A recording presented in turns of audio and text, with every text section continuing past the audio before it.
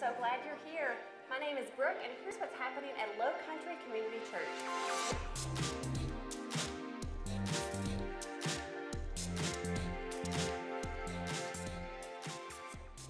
If today is your first visit, thanks for coming. We're here for you.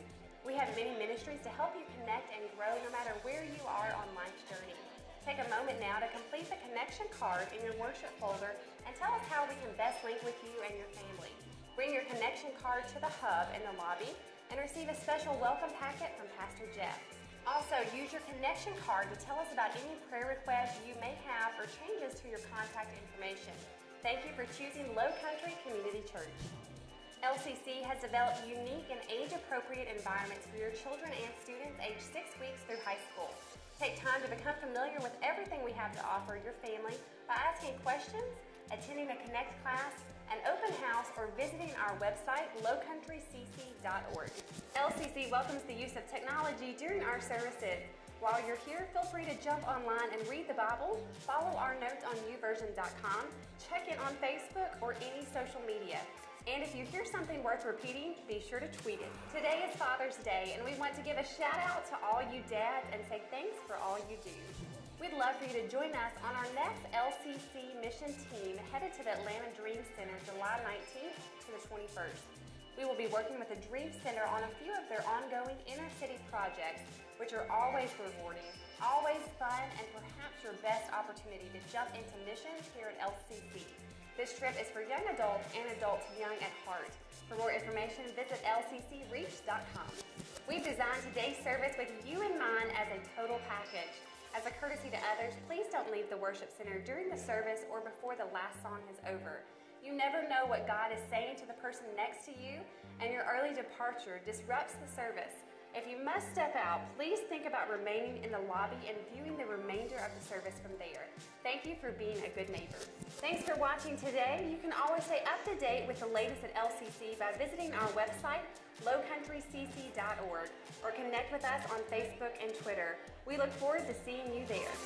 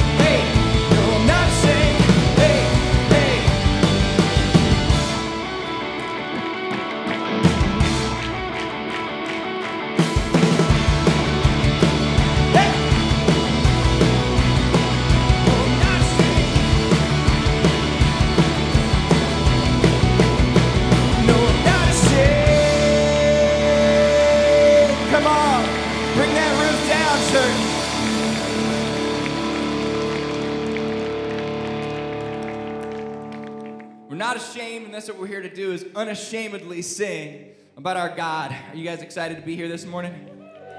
Awesome. Welcome to LCC. Happy Father's Day. It's awesome to have you with us. My name is Eric. It's great to have all of you folks here with us today. If you're new with us, if this is your first time, we'd love you to fill out a connection card in your worship folder and turn that in at the hub so we can get to know you better. So if you could do that, it's a personal favor to us. That'd be great. Would you say hello to somebody? Tell them you're glad they're here, and we're going to keep singing together.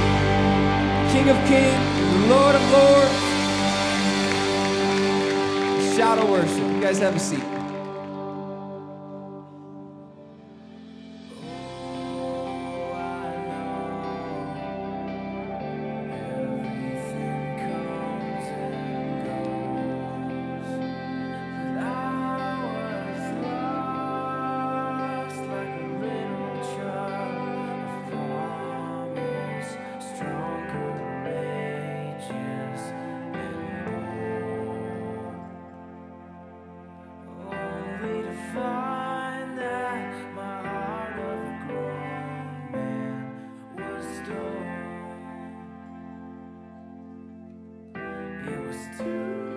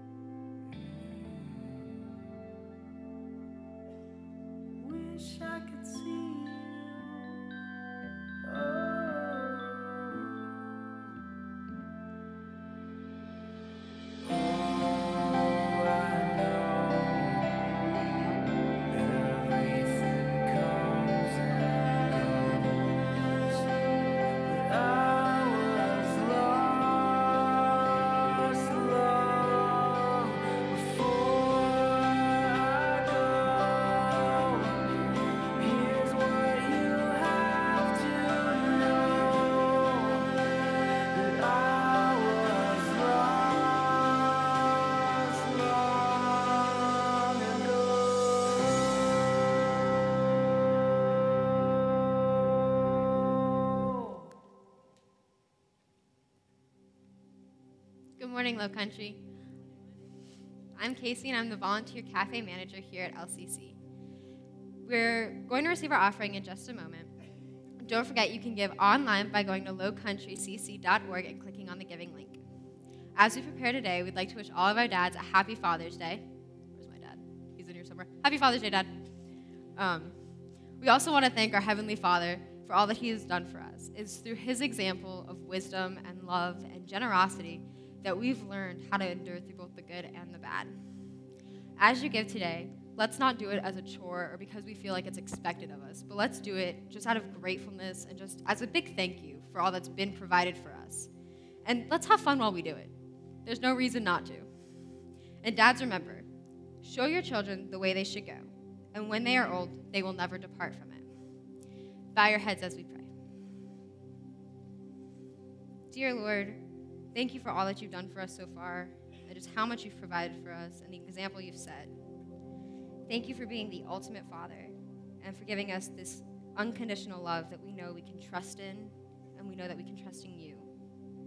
Thank you for guiding us in the way we should go and showing us how we should live.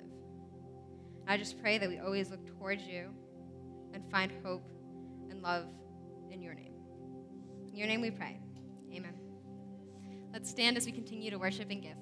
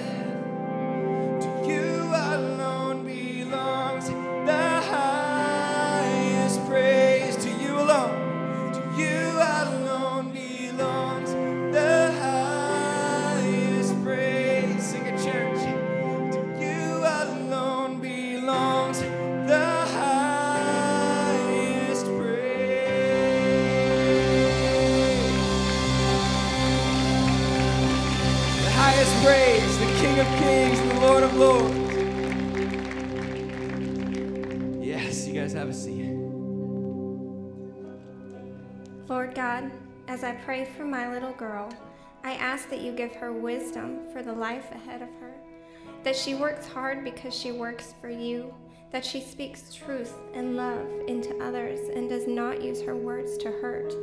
I ask that she wants to stay pure for the man you have for her, that you will give her courage to stand up against her fears, to be bold for you. Let her understand that life is awesome and that through you there is uncontrollable joy. Lord, you have given her so much. May contentment fill her life. May she have a heart of integrity, and when temptation is staring her in the face, she will turn and do the right thing, even when no one is watching. Give her a drive to share this wisdom with her kids, and give her self control in those times that seem uncontrollable.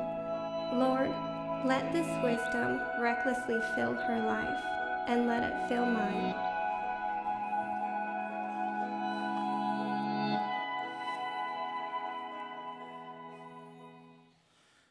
Good morning. Happy Father's Day. Feliz Dia del Padre. So, welcome. So glad that you are here. Today is Father's Day, and the Father's Day Council tells us that 80 million pounds of beef will be consumed, grilled, barbecued, and blackened today. And all the men said, "Urgh," just something caveman, prehistoric ought to come out of you right now. There are about 100 million Father's Day cards that have been sent this weekend. And according to the Almanac for Farmers and City Folk, the largest day or the, the largest number of collect phone calls will occur today on Father's Day. So I don't know what that says, dads, about us, but I want to take a few minutes with you this morning as we continue on through this series in Proverbs called Get Smart, where we are seeking to gain wisdom from the book of Proverbs. We're choosing a number of the themes of Proverbs and taking a look at each one throughout this summer. And today it has to do with child raising, and that's appropriate since it's Father's Day, but there's always a certain amount of hesitation whenever uh, a pastor speaks on the subject of child raising, for me anyway, because uh, mine are still in process. Um, you're never quite finished, are you, with raising your children? I mean, my parents are still waiting to see how I turn out, and I'm 51. So um, you don't know how your kids are going to turn out. You want them to turn out well, but I, I don't know if there's a certain age that you reach as a dad or as a mom where you know that your parent, your uh, children have turned out. Um, but I, I haven't reached that age yet. I've been thinking this week about so many people, some of whom are friends of mine, pastors in ministry. And many of you, perhaps, here today, and you've got sorrow in your heart today because maybe your child or maybe you have children who are not walking with the Lord as you would want them to. And um, we just live in a, in a day, in a generation where uh, there are so many things, so many ensnarements, so many entrapments, so many things that can waylay our kids. And I know it's sort of popular to say, well, our kids today have it harder than the preceding generations, but I think there's an element of truth to that. The, the pressures from our culture are, are great, the, the traps and the snares seeking to capture them are great. The media is against them, social media is against them. I mean, I've never, growing up, never, ever could have imagined uh, what a cell phone could do what a computer could do like, like that. That was the stuff that we saw on the Jetsons. Some of you are too young to even know who the Jetsons are. You can Google them. Um, but I, I, never could think past a fax machine. I'm, I'm, still amazed by a fax. And for some of you, again, Google it.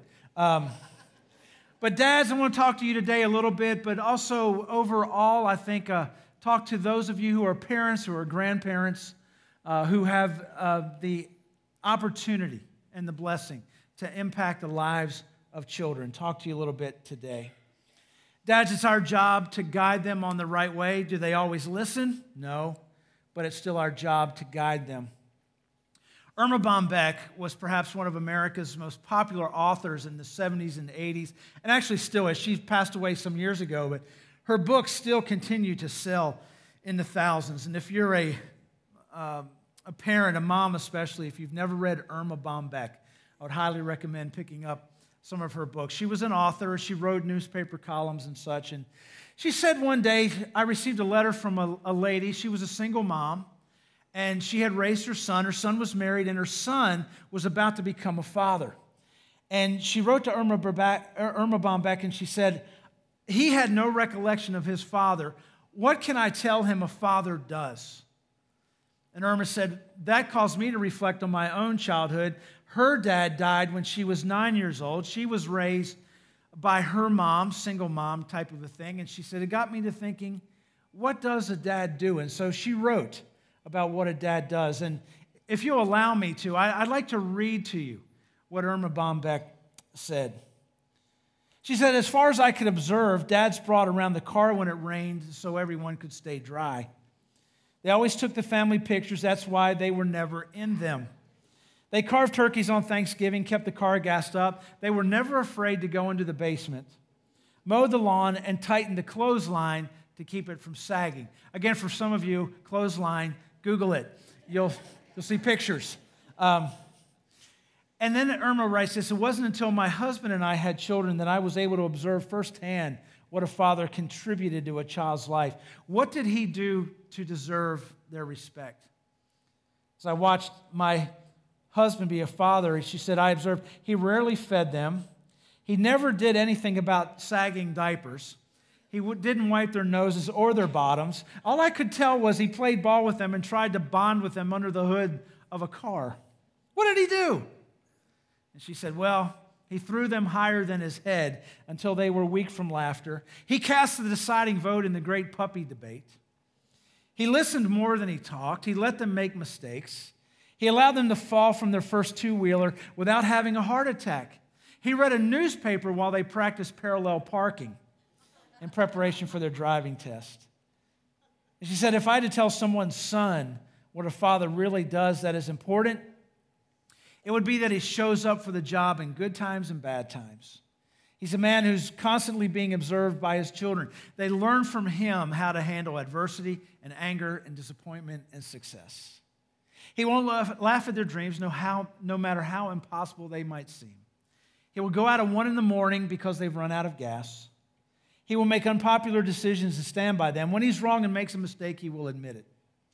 He sets the tone for how family members treat one another and how you learn to treat members of the opposite sex and people who are different than they are. By example, he can instill a desire to give something back to the community when its needs are greater than their own families. But mostly, a good father involves himself in his kids' lives. The more responsibility he has for a child, the harder it is to walk out of their lives. A father has the potential to be a powerful force in the life of a child. And she says, Dad, maybe you'll get a greeting card for your efforts, maybe not, but it's steady work. Dads, we have the opportunity, the blessing, the privilege to pour into our children's lives. And that's what I want to talk to you about today, based out of one verse in Proverbs, chapter 22 and verse 6. It's a verse that is fairly well known to a lot of people. It simply says, Train up in a child in the way he should go, and when he is old, he will not depart from it, or he will not turn from it. I want to take a look today at what God's word says about parenting.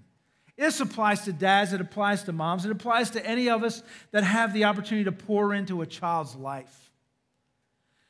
I've heard dozens of Father's Day sermons I've given dozens of Father's Day sermons.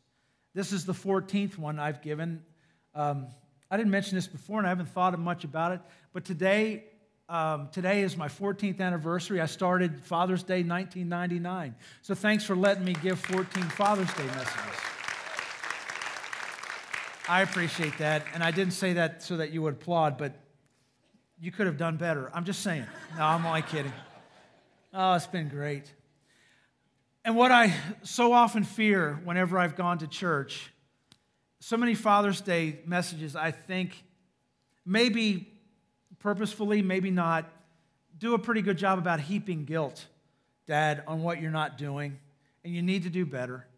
I don't want to do that. We get enough guilt from everywhere else in the world. We don't need it at church. I want to encourage you today. I want to honor you today. And most of all, I just want to take a few moments with you and teach you what this one verse says about how you can be a good dad. Is that a deal? Let's do it. Open your Bibles to Proverbs 22 6, or if you're watching or reading it on your phone or whatever, turn it on there. And let me begin by just making two simple observations about children. We'll pray, and then we're going to dissect this verse. Here's the first observation if you're following along in here or in the cafe uh, on your outline there. First observation, and again, they're simple. But when it comes to raising children, each one is unique. I'll never forget the epiphany I had the day I realized child number two was different than child number one. I was a young father and just assumed that child number two would be exactly like child number one. I know that sounds stupid now, but I, that's what I believed. And then when child number three acted differently than child number two and child number one, and by the way, we name them, we don't call them child one, two, you know, thing one, thing two, and thing three. They actually have names. And, uh, but man, they're different. They, they, they're unique. Each one's unique. One, one child is very gregarious, the other might be very shy, not as outgoing. One can stand up and speak in front of hundreds of people in public, the other one, no way. I mean, you will have to drag me up there, and then even then, nothing's going to come out of my mouth. One might be very musically gifted, the other may be uh, very gifted mechanically with their hands or something. You'll learn very quickly that there aren't many hard and fast rules when it comes to applying different things to children because they're so unique. And that leads us into the second observation that what you do to raise your children is going to vary. It's going to change because as your children grow up, they change. And as they change, they go through phases. And as they go through phases, your parenting skills as a dad or as a mom are going to be challenged. You have to tweak and change a little bit. Gary and Anne Marie Ezzo talk about the four phases of raising your children. And I, I think these are good, so good, and I just want them to share them with you. They're, they're not hard and fast, they're general, but my experience is that they're pretty true. And the first phase is the phase of discipline. And that happens between ages one, zero, like from birth, to about five years old, give or take. This is when you establish, you love your children, you care for your children. That child, when he thinks of daddy or when she thinks of dad or mom or whatever, knows I'm loved, I'm cared for, I'm unconditionally loved. If you do nothing else and instill that in your child in those first five years, you've done a great deal. But you'd better instill a few more things. And that's why it's called the discipline phase, because what you had better instill in them from zero to five is that I'm in charge that I'm the parent and you're the child. That's not very popular today, and I see a lot of families, they don't function like this. I'm just telling you. If you don't instill in them some discipline in the first five years, the next 15 years are going to be really, really difficult. Not only for you, but for them. You're going to have trouble. This is what time you go to bed. I know as a four year old, you think you know what's best for you and you want to go to bed then. I'm telling you, this is when you go to bed. I'll tell you when you're finished all your vegetables. And some parents recoil at this. Oh, no, we're just going to let them. Okay, fine. But I'm telling you, 10 years from now, you're in big trouble. You establish yourself as the parent. And don't confuse that with letting them run the household. There are so many households surrounding us today that people this tall rule the roost. No. No, dad, mom, you set the standard, you be in charge, and the sooner they understand that, the better off it's going to be for everybody. Second phase, ages 6 to 12. Again, give or take but 6 to 12. And that phase is training. And I'll use a sports analogy here with a trainer and an, and an athlete. A trainer of an athlete works with that athlete each day in different settings, using different exercises, different drills, getting the children ready to play the game of life. With an athlete, I'm doing these exercises and these drills with you, says the trainer. so that you can score the goal, you can make the throw, you can hit the ball, you can uh, win the race, or whatever, whatever it is. And so I'm getting you ready for the game because when you get there, the, the coaching, the training takes on a different deal. Are you with me? So, in ages 6 to 12, I'm training you. Here's what it sounds like. Okay, as you grow up, son, as you grow up to your daughter, you're going to face certain situations. You will run into people who will say unkind things to you. You will run into people who will lie to you. People will hurt you. Here's how you respond. Here's what you say. Here's what you do. I'm training them so that when these things happen, they're ready. When you leave the nest, and sometimes leaving the nest is not when they're married, they leave the nest in a sense when they go off to school. They leave the nest a little bit as they age. Now, they're still there with you, but you don't have all the input on them that you wish you had or that you once had. Does that make sense? And so you pour into them during this training time, 6 to 12. Here's how you respond. Here's what you say. Here's how you act.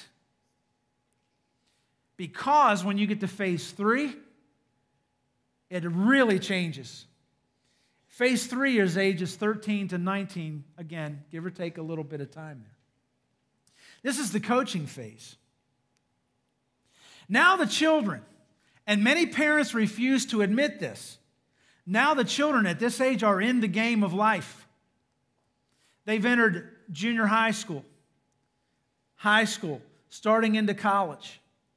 The game of life has begun, and you're coaching from the sidelines.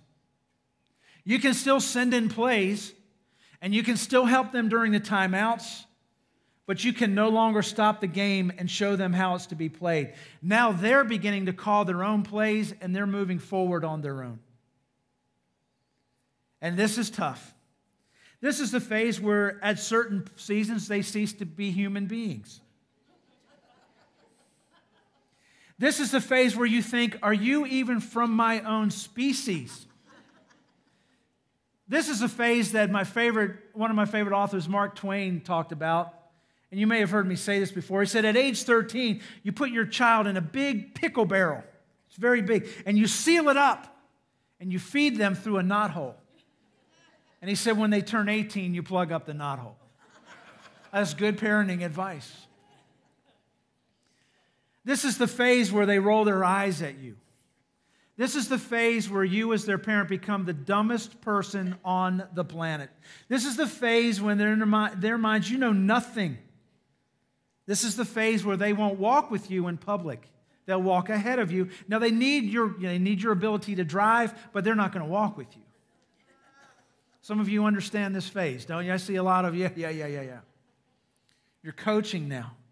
You're coaching. You coach a little more when they're younger,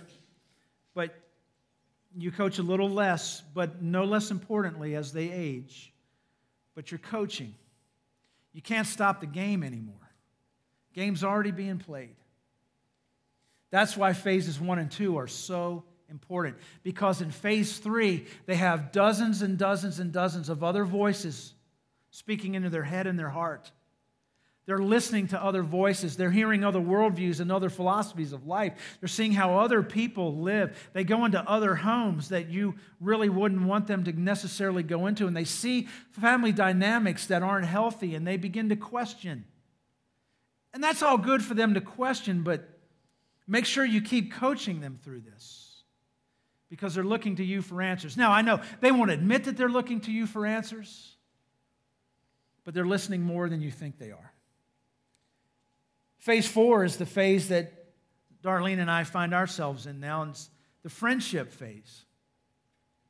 Some of you in phase three right now can't even imagine the friendship phase. You'll get there. But your children have become adults.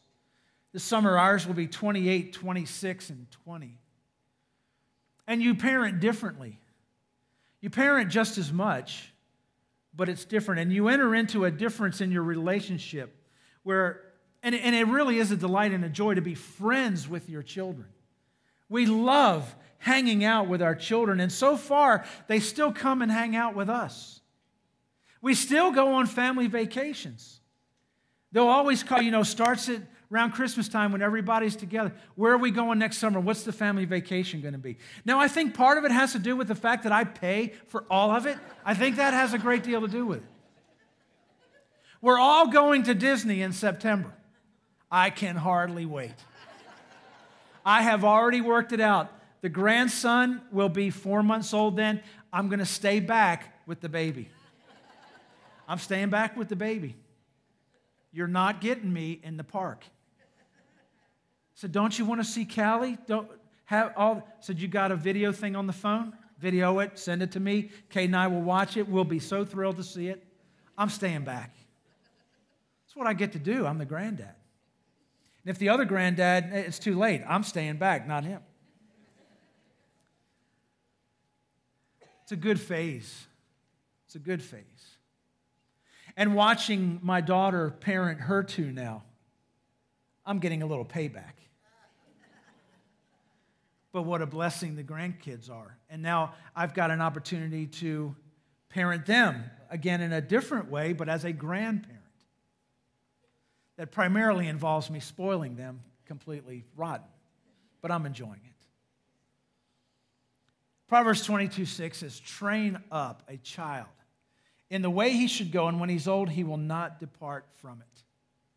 A scripture verse known by many, many, many Christians, and a scripture verse that's believed by many, many Christians.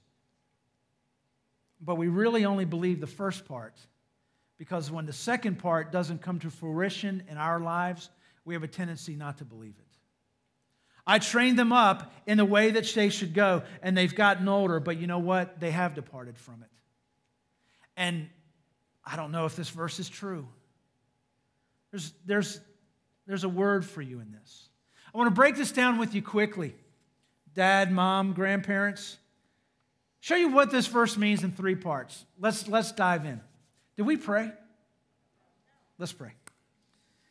Father, thank you that we can come to you and you give us wisdom. And Holy Spirit, we learned from Jesus that one of your roles is to teach us. And so that's our prayer that right now you would energize your word in our spirits, our souls, our minds, our hearts. That you would teach us what it is you want us to know. Make the application in every one of our situations and settings that we might be the men and women you want us to be. Thank you for children, the blessing that they are. Help us to raise them well in Jesus' name. Amen. I didn't forget, but in three services, sometimes I think I've done or said something that I haven't done. So you understand that, right? Thanks. Train up a child. Number one, it's a command. And I just call it the take it to them command. Now, take it to them. You could have this sort of warfare like spirit to that. I'm going to take it to them. That's not what we mean. The word train, and you'd never get this from our English word train. The Hebrew word for train literally means to put a food morsel in their mouth. Just take a little bit of food morsel and put it in their mouth. In other words, what we're to do is we're to feed them until they're old enough to feed themselves. My grandson Cade is only a couple of, well, seven, eight weeks old. He can't feed himself. So he, the food is brought to him. We take the food to him. Tiff takes the food to him. Brian takes the food to him. Pretty soon he'll be able to feed himself. Callie feeds herself now. It's hilarious. Only half of it gets in her mouth. And whatever she can fit in her hands, in her tiny brain, she assumes it will all also fit in my mouth. Not too long ago, we, we took Callie, Darlene and I did, up to see my parents. They live north of Charleston, near Myrtle Beach. On the way home, Tiffany called, said, On your way back through Charleston, are you stopping at the Krispy Kreme? Well, of course I'm stopping at the Krispy Kreme. You know where the Krispy Kreme is on Highway 17 in Charleston? It's one of the blessings God has on the city of Charleston. Said, Of course. Okay, Dad, well, bring me home some donuts. Absolutely, I will. We stopped off in the Krispy Kreme. We walk in with Callie. She's this tall. The glass front display cabinet is at eye level for dozens of donuts. You could see it on her face as we walked in. She smells the Krispy Kreme donuts. She's looking at all of it. It, it was just heaven. We buy some donuts. Darlene excuses herself to go to the ladies' room. I said, Callie, come here. Sit Callie down at the table. Bought her a chocolate milk, put the Krispy Kreme hat on her, and broke out a chocolate glaze covered donut. She'd never had one in her life. She has these terrible parents who believe that vegetables are good for you. She's never had one. I said, Callie, it's paw paw time. Let's go. I broke it down. I put that first bite in her mouth. Mmm, mmm, mmm, mmm. Has the Krispy Kreme hat on. Mmm, mmm. She had half of it down. My wife comes out. What are you doing? I said, It's too late now. It's in, man. She was loving it. That was at four o'clock. She wore the hat until she went to bed that night. I said, Yeah, train up a child in the way that she'll go. She'll be eating Krispy Kreme the rest of her life. Every Friday, Callie and I share a bowl of she crab soup. That child loves she crab soup. Loves it. So, Callie, it's Friday. We're going to go get some soup. Mm-hmm, mm-hmm, mm-hmm. Pretty soon she'll be able to order her own she crab soup and order her own donut, sit there with me and do it. But right now, as a youngster, you got to help her. And what the Bible's telling us is this, mom and dad, is that we put the food of life in their mouth. We put the fruit of righteousness in their mouth. We take that morsel of the Word of God and put it in their hearts. And it's our job to feed them the Word of God and the things of God and the principles and the precepts of God until they can feed themselves. Does that make sense? That's what it means to train up. The word train can also be uh, translated start up. You start them in that way, and they'll keep going in that way. And it's tough, and it takes some things to do this. And very, very quickly on your outline, got some things there, some A, B, C, D, and E on your outline. Let me give them to you quickly. What's it going to take to do this? It's going to take some sensitivity, first of all. Sensitivity. Understand their individual needs.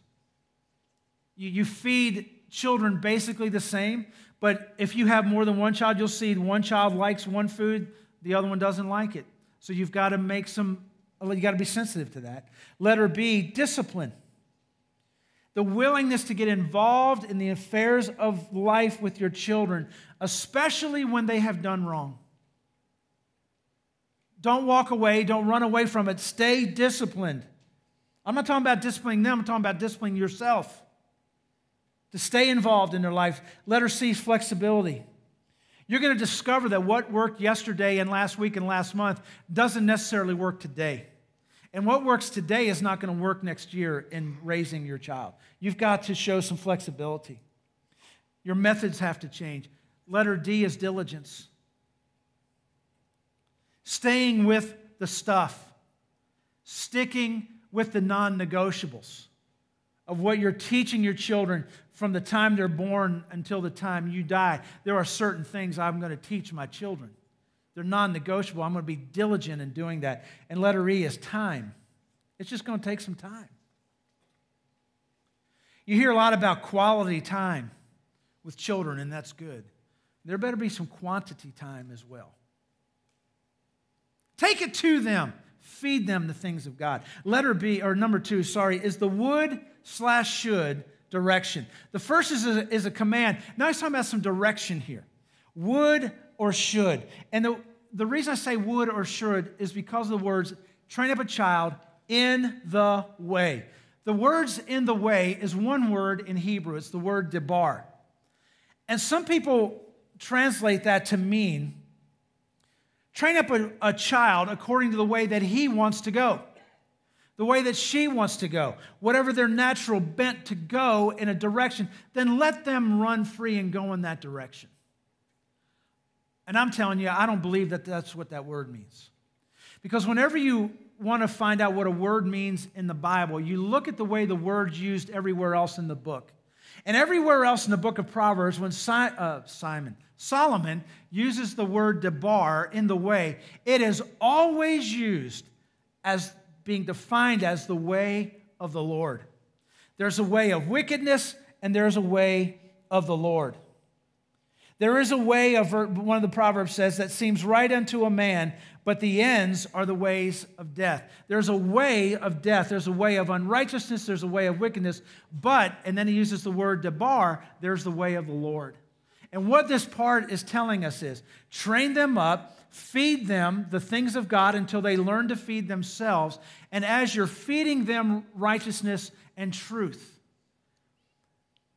you feed them and direct them in the ways of the Lord.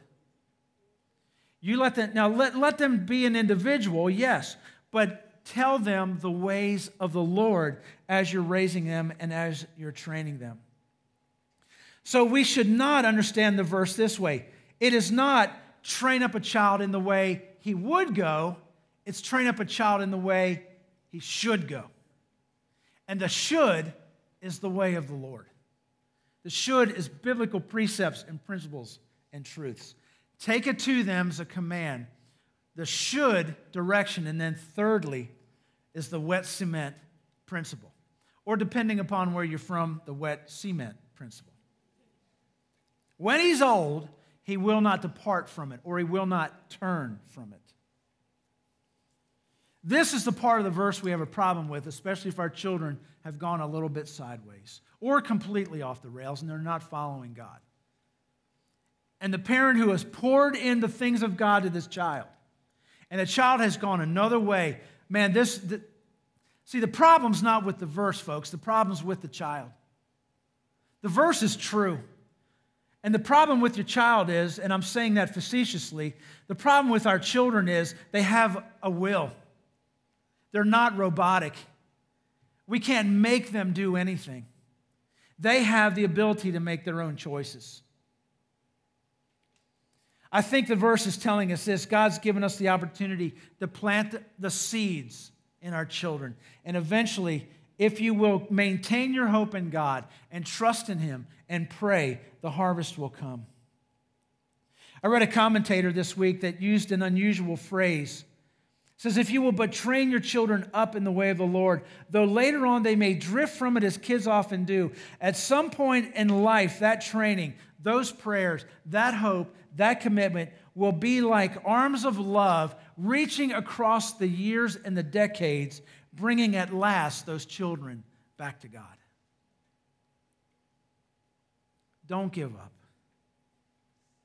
If you have a child today that's gone a little bit off the rails, they're away from God, and you've poured the, the word into them, and you've prayed, and you've done what you knew to do, and they still have gone that way. I just want to say a couple of things to you. Admit it hurts. Don't try to gloss over your feelings. It's tough. It hurts. It's scary.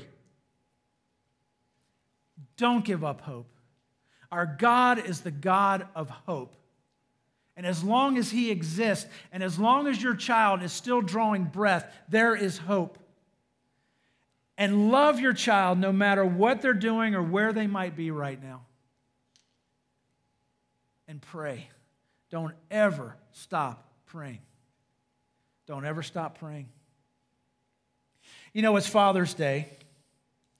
And I thought, you know, well, Mother's Day, we give away carnations. And quite frankly, for Father's Day, I thought, well, we can give dads donuts, cookies. Don't get too excited. You're not getting anything. We could buy you some trinkets, and you'd either consume what we gave you today or you'd throw it away tomorrow. But I want to give you a gift that I, I think it's one of the best gifts I could give you. The best gifts I could give you, our, your church could give you. And we've got this insert in your worship folder, or it's online there. Seven things to pray for my children.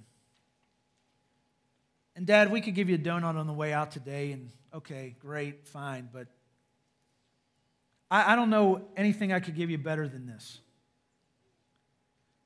Dad, if you're not praying for your son or your daughter, Mom, if you're not praying for them, who is?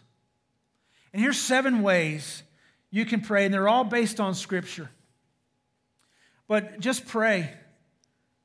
that Jesus will call them, no one will hinder them from coming, that they will respond in faith to Jesus' faithful, persistent call, that they will experience sanctification through the transforming work of the Holy Spirit and will increasingly desire to fulfill the greatest commandments, that they will not be unequally yoked in intimate relationships, especially marriage, that their thoughts would be pure, that their hearts will be stirred to give generously to the Lord's work, that when the time is right, they will go. Dad, I don't know what greater gift I could give you today than this guide to pray for your kid. And I don't know what greater gift you as a dad could give to your children than to pray for them like that. And you're praying God's word back to him, and there's power in that. So, Dad, be encouraged. Don't ever give up hope. Keep praying, keep trusting, keep holding on. You'll make it, you'll get through. And one day you'll hear that child say, I know I drove you nuts, but thank you. Sometimes all it takes is a, a word, a sentence from a daughter, a son. Thanks for being the greatest dad I could ever have. You can't buy that. There's no value you can ever place on that. And, Dad, the greatest thing you can do is pray. I'll tell you, if our children have fathers who pray like this for them, you're never going to have to worry about are they going to turn out. Because God's word never comes back to him void. There's power in the scripture. And the Holy Spirit will work in that child's life even when you are miles and miles away. Happy Father's Day. Let's pray. Father, we're grateful today that when we are weak, you are strong. That when we fail as fathers, you succeed. That when we don't know what to do, you give us wisdom. That when we don't know how to pray, you pray for us. Lord, I pray for every dad hearing my voice right now. We want to thank you for our children, our sons and our daughters, our grandchildren, some cases, our great grandchildren. What a blessing. What a gift that you have given to us. And as we raise them and we parent them, and as they go through their phases and we go through that with them, would you give us the strength and the capacity that we need, the wisdom, the direction to know how to guide, to know when to be firm, know when to be tough, know when to be tender. But through it all, may we be loving. And may we live our lives through our actions and the words we say that our children know whatever else happens in my life, I know my dad loves me. I know my mom loves me. And nothing can ever change that. And that's simply a reflection of your love to us. Thank you that you are our Heavenly Father. That we always have you to run to, to turn to, to look to for advice and counsel and wisdom and direction. We thank you and we love you and we pray all this in Jesus' name. And God's people said, Amen.